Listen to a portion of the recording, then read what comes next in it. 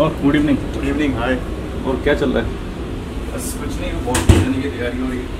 तो काफ़ी सारा रिक्वेस्ट आ रहा था कि थर्ड अफसर का कैबिन का टूल दिखाना है।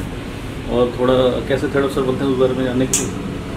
थर्ड अफसर का लाइफ कैसा है उस बारे में दिखाने के लिए तो हमने सोचा कि वीडियो बना लेते हैं। ज़रूर। ठीक है रेडी हाँ जी तो ये अपना कौन है? असिस्टेंट इंजीनियर या चीफ इंजीनियर ये अपना assistant so he will be assisting me on recording this video ठीक है तो चलिए बैठ जाइए। आपसे शुरू करेंगे अभी कुछ चीज़ें। हाय गाइस हेलो मेरा नाम आशीष है और मैं थर्ड ऑफिसर हूँ। और मैं करेंटली मैं सेलिंग कर रहा हूँ सकूरा ग्लोरी में। और uh, मैं आज आपको बताने वाला हूँ कि uh, कि कैडरशिप के बाद when we become a third officer तो क्या चेंजेस आते हैं लाइफ में जॉब प्रोफ़ाइल में रिस्पॉन्सिबिलिटीज़ वाइज तो आज मैं आपको इन सब चीज़ों को थोड़ा सा ब्रीफ डिस्क्राइब करके आप लोग को आज मैं बताने की कोशिश करूँगा। तो स्टार्ट करते हैं सबसे पहले हम लोग कैरेटशिप से। कैरेटशिप में हम लोगों को सबसे पहले प्रीसी का कोर्स करना होता है। प्रीसी का कोर्स में हम लोगों को दो ऑप्शन रहते हैं। एक तो या हम डीएनएस कर लें या फिर बीएससी नॉटिकल साइंस कर लें। डीएनएस अगर आप करने करने के लिए जा रहे हो तो आपको एक साल का प्रीसी कोर्स करना पड़ता है देन आफ्टर एटीन मंथ्स का सी टाइम कंप्लीट आप लोगों को करना होता है. और अगर आप बीएससी नॉटिकल साइंस कर रहे हैं तो आपको थ्री इयर्स का प्रीसी एट ग्राउंड आपको कोर्स करना होता है नॉटिकल साइंस का. Then again for one one year you have to go for on board training at ship you have to get on board on and uh, once you uh, once you complete this uh, pre-C course and this uh, on-board training after that the the main thing has came is exam. आपको कैडीशिप के बाद आपको exam के लिए prepare होना पड़ता है। आपको नॉलेज पता है आप जब काम करते हो जहाज़ के ऊपर वहाँ से जो भी नॉलेज आप गेन कर रहे हो और जो भी आपने पढ़ाई करी कैडशिप इन सब का यूटिलाइज अब आपको इस एग्ज़ाम में जाके करना होता है। तो इसके लिए आपको सबसे पहले कि जैसे आपने अपना 18 मंथ्स या फिर वन ईयर आपने अपना कंप्लीट किया, हम लोग बात करते हैं सबसे पहले डीएनएस कैंडिडेट के लिए। क्या जैसे ही आपने अपना 18 मंथ्स कंप्लीट किया यहाँ पे ऑन बोर्ड ट्रेनिंग कंप्लीट करके देन आपको सेकेंड मिड फ़ंक्शन क्लासेस के लिए जाना होता है, जो कि चार महीने का होता है। और ये इट्स अप टू यू कि आप इंडिया में बहुत सारे मेरी टाइम इंस्टीट्यूट्स हैं, वहाँ पे जाकर आप अपना कोर्स बुक करके अपने कोर्स को, चार महीने के फ़ंक्शंस कोर्स को आप कंप्लीट कर सकते हैं। और ये बहुत सारे सिटीज़ में, मुंबई में अवेलेबल है, दिल्ली में अवेलेबल है, कोलकाता में है एंड वहाँ से but make sure it should be D approved college वहाँ से आप करके अपना फो- अपना क्लियरेंस लीजिए। क्लियरेंस लेने के बाद सेकंड स्टेप आता है एमएमडी यहाँ पे एमएमडी रोल का प्ले स्टार्ट हो जाता है। यहाँ पर आप लोगों को अपना असेसमेंट करना होता है। एंड असेसमेंट करने के असेसमेंट करने के बाद आपकी एक फ़ाइल तैयार होती है एमएमडी में। और वो फ़ाइल बनने के बाद now you can apply for the written exam written exam के लिए आपको अब अप्लाई करना पड़ता है, उसके लिए ऑनलाइन फॉर्म भरने पड़ते हैं। और टोटल छः सब्जेक्ट का रिटर्न होता है।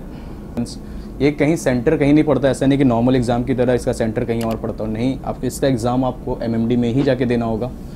And once you have complete your written exam then you have to wait for at least one and half months एक डेढ़ महीने के आपको इंतज़ार करने के बाद आपका रिज़ल्ट आता है। अगर आप सारे सब्जेक्ट्स में पास हो गए तो इसका मतलब now you are eligible for oral उसके बाद आपको ओरल के लिए ऑनलाइन अप्लाई करना पड़ेगा। सेम एमएमडी ऐसा नहीं है कि आप रिटर्न के लिए कोलकाता में मंडी में गए, फिर रिटर्न के लिए आप रिटर्न के लिए आप किसी और एमएमडी में किया और ओरल के लिए किसी और एमएमडी में जा रहे तो ऐसा नहीं है। आप फ़ाइल ट्रांसफ़र करवा सकते हैं but you have to give a proper reason कि आपको क्यों करना उसके लिए भी आपको ऑनलाइन अप्लाई करना पड़ता है। बट जनरली कोई करता नहीं है। लोग कोशिश करते हैं जहाँ से उन्होंने अपना रिटर्न असेसमेंट जिस एम से करवाया है कोलकाता दिल्ली मुंबई छः सात एम हमारे इंडिया में है।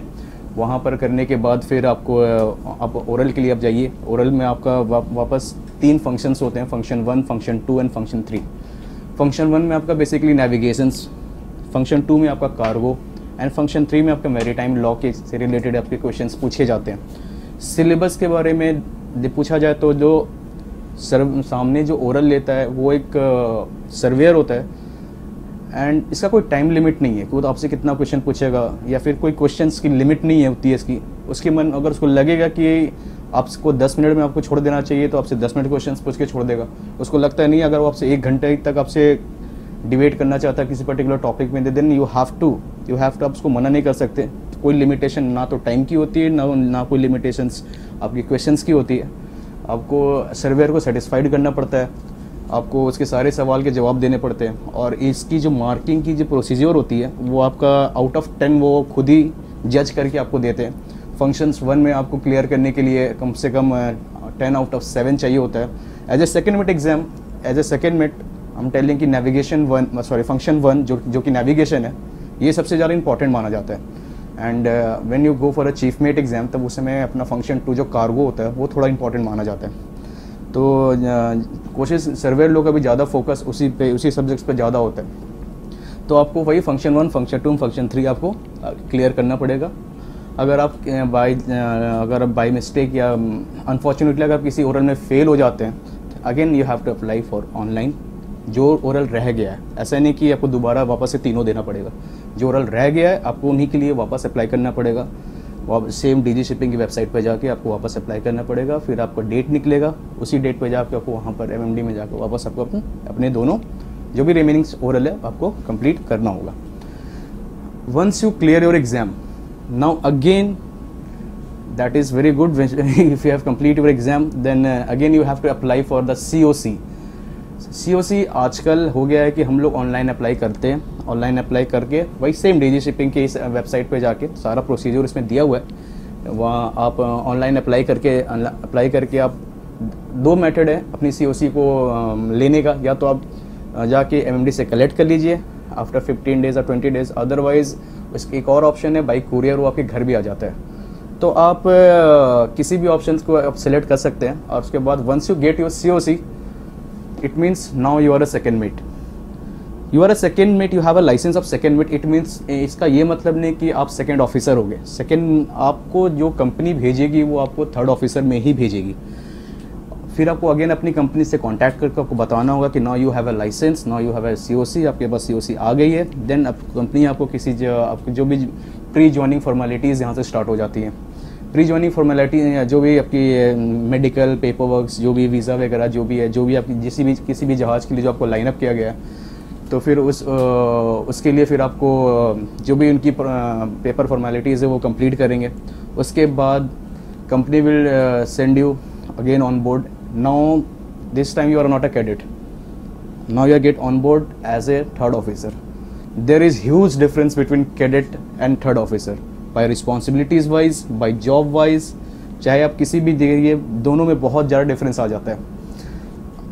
क्योंकि हम जब कैडेट रहते हैं तो हमारे ऊपर इतनी ज़्यादा कोई रिस्पॉन्सिबिलिटी नहीं रहती नहीं है। बिकॉज़ हम कुछ भी काम करते हैं तो कि under the supervision of senior officer I chief officer second officer और थर्ड ऑफिसर और captain but as a third officer it means you are now responsible for watch navigational watch you are responsible for L S F F A maintenance you are responsible for cargo watch. There is some it means now you are a responsible person responsible officer on board.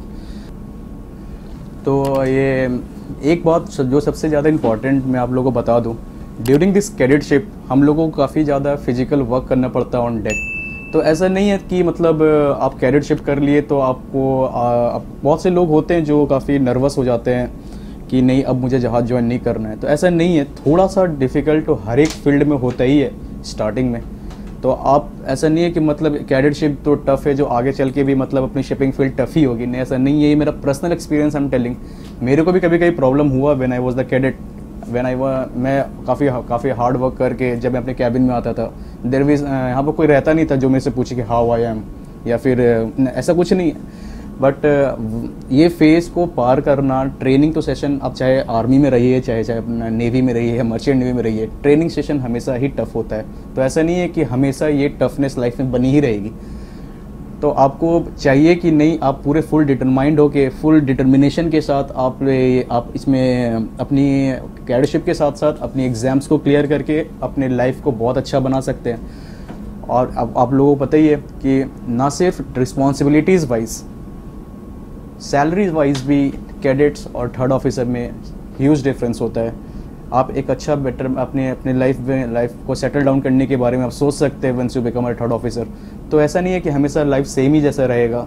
Just complete your कैडेटशिप अच्छे से सीख के या फिर किसी भी तरह से इसको कंप्लीट कीजिए और अपना एग्ज़ाम्स क्लियर करके आप थर्ड ऑफिसर में ज्वाइन कीजिए और अपने लाइफ को अच्छा बना सकते हैं। आप इसमें ऐसा नहीं है। तो आई होप कि आप लोग ये मेरा पर्सनल एक्सपीरियंस भी है कि बहुत से लोग ऐसा मानते हैं, ऐसा मैंने सुना है कि यार कैडेटशिप सही नहीं है या फिर शिपिंग लाइन अच्छी नहीं है तो ऐसा नहीं है, बिल्कुल भी ऐसा नहीं है।